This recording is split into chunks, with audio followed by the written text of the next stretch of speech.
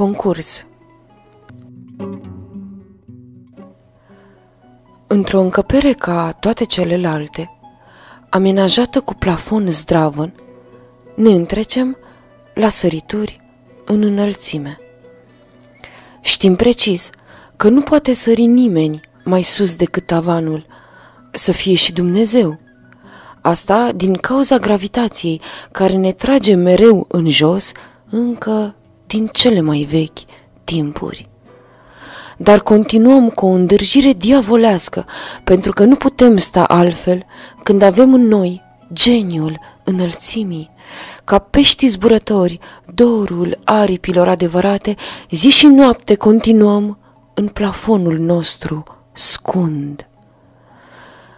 Cel mai sprinten, care are mușchii cei mai oțeliți, mai dresați și stăpânește cel mai bine legile avântului, ia și cele mai multe pognituri în cap.